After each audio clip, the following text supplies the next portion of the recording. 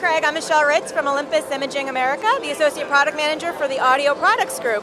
And I wanted to talk to you a little bit about our new LS12. Uh, it's a handheld recorder, and the LS12 is a basically a performance for every musician, and it's got two gigs of internal memory, stereo microphones, and what's really amazing about it is this new smart dial. We've got this mode dial here that allows you to go to the built-in tuner.